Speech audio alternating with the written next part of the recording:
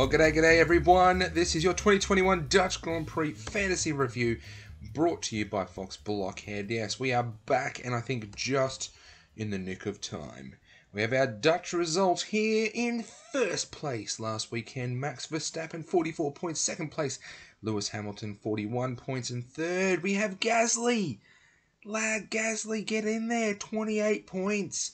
Mercedes, the top team on 58, and Hamilton. that was nearly Bottas. Whoopsie! Fastest lap. Abort, abort. Uh, if you didn't know the race, then uh, you probably won't get that. But anyway, Hamilton with the plus five for the fastest lap. This is the full result. Bottas missing out by a point on Gasly. Maybe he was going for fantasy points. Maybe that's why he wanted the fastest lap. Then Leclerc, Alonso, Perez, Latifi in the top 10. Carlos Sainz and Lando Norris. Couple of minuses down the bottom. George Russell and Robert Kubica.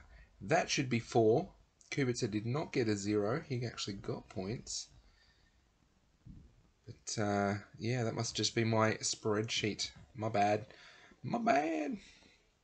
Mercedes, the top team, 58. Red Bull just behind 55. The value pick of the Dutch Grand Prix. The dream team looks like this: Verstappen, Gasly, Alonso, Latifi, Norris, and Red Bull.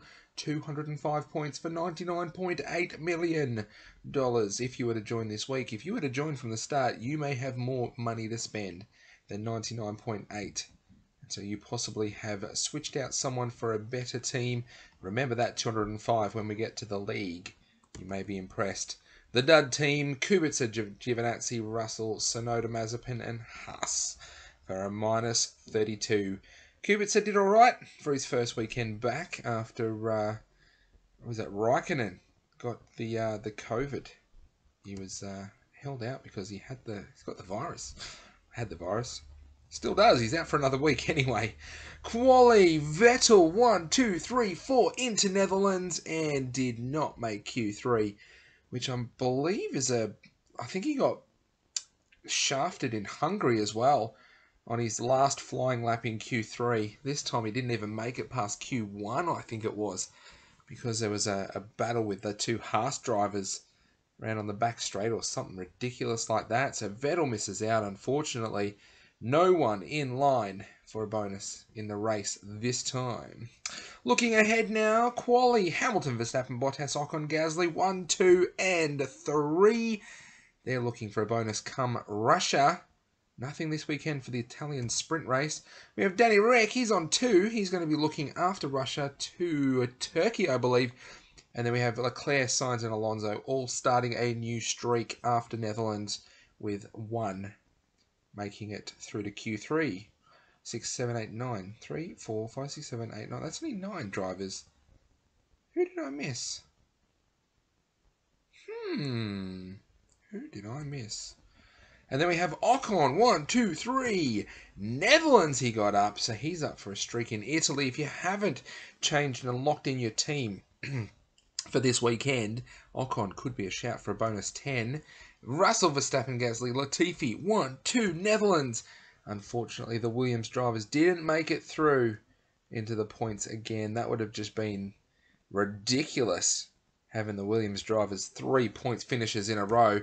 So uh, Verstappen and Gasly now on for Russia. And if you'll notice, they're also on the quality streak for Russia. So you might need to manipulate your teams if you haven't got either of those two for a potential bonus 15 points come Russia.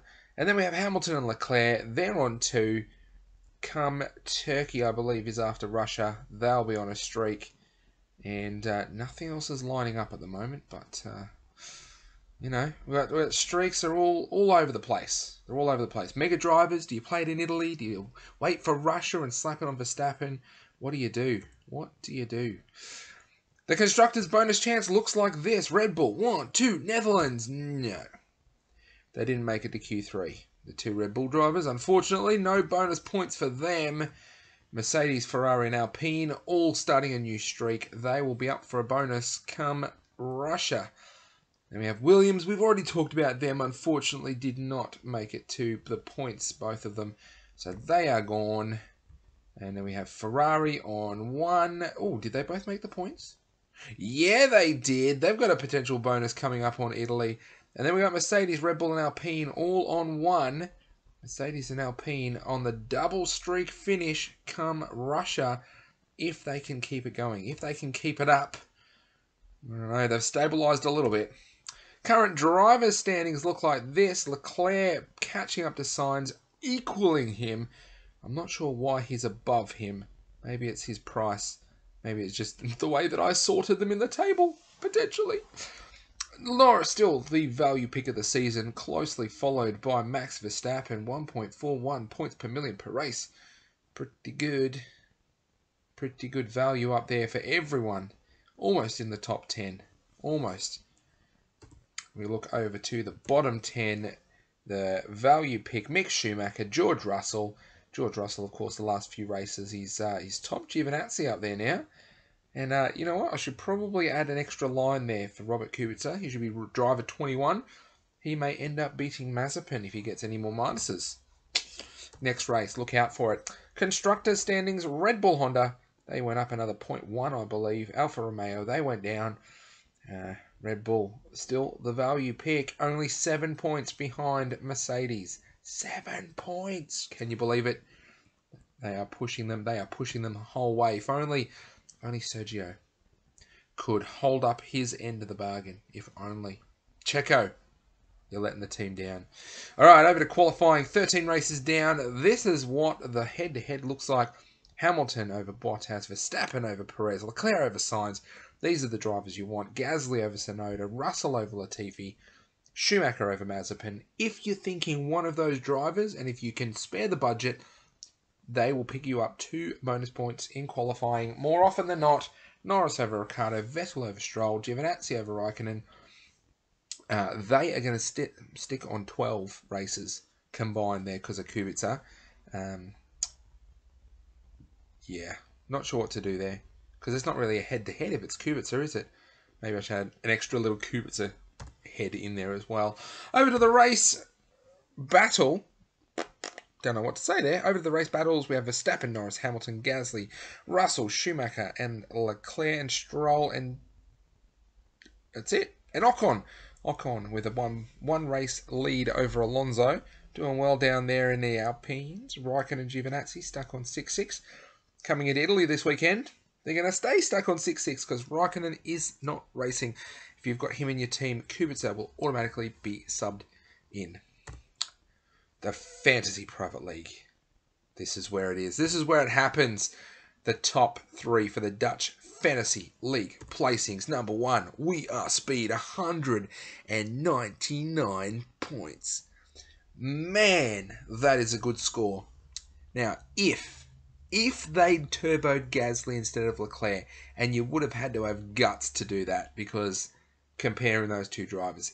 But if they did, Gasly instead of Leclerc, that, I believe, would have been almost the dream team for this weekend.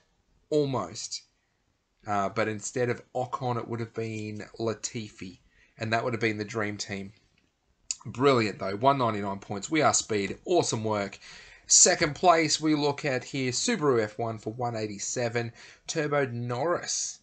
If the turbo went to Leclerc, I think that was an identical team to the first place. And third place, we have Tom Team 1 with 181 points.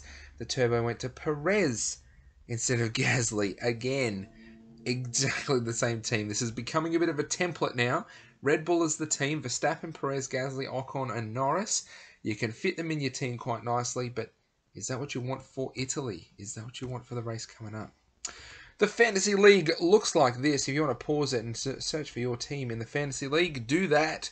See where you're sitting at the moment. Did you go up? Did you go down? You can see the gold, silver, and bronze from last week. That bronze, that third place for Tom, certainly shot him up the team, shot him up the uh, the standings there. Soren, 155 points, letting other people into the hunt. Although 115, 16, 18, 118 points lead, that's going to be hard to topple. A well played Mega Driver, perhaps, is what's gonna what's gonna do it. But there you have it. That's the Fantasy League. If you would like to join, you're going to make my job more difficult because I've got to try and fit you into this page here for the Fantasy League. Maybe we split it over a couple. I don't know. The season calendar looks like this. Verstappen taking another victory. We're over to Monza. We have one more sprint race left this season. We have one question mark that needs to be answered down there in at the end of November. Uh, we're off to Italy, Monza, then Russia, then Turkey, then over to the USA, Mexico, and Brazil. COVID lockdowns, exceptions pending, and then finishing the season in Saudi Arabia, Saudi Arabia, and Abu Dhabi. But what's it going to be? Are we going to do a Bahrain outer? Are they going to go back to Bahrain again at the end of November? hmm Watch watch this space. Watch F1.com, uh, Formula1.com. Um, sprint race qualifying. The sprint race. Uh, just thought I'd throw this up again, just in case anyone, any of you, any of you, any of you, had forgotten, were thinking, what is the sprint race points all about? That's it bonus points for the top 10. If you're disqualified, you get a minus. Fastest lap is 3. Ahead of your teammate gets you 2. One point per position gained, minus one per lost. Finish it, you get a point. And Monza, the second race, the second round to in- include the sprint quali in 2021. Well, good luck heading into Monza, the Italian Formula One Grand Prix, September 10 to 12. Quali is 6 p.m. September 10th local time. That's the Friday night. That is not long to go once this gets uploaded. So hopefully you get to watch this. Hopefully it influences what decisions you make and hopefully you make some good choices heading into Monza. I hope we have a ripper, another ripper of a round weekend.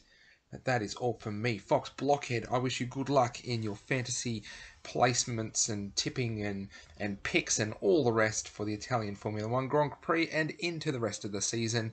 I will see you again after the Italian Grand Prix. Hopefully we have another banger and we can talk about it and maybe it'll maybe it'll throw up a, a, another weird one. That'd be interesting, like last year. Oh, that'd be good. All right, that's all from me. Thanks very much for watching. My name is Fox Blockhead. If you enjoyed, give me a thumbs up. And until next time, I'll see you later, alligators.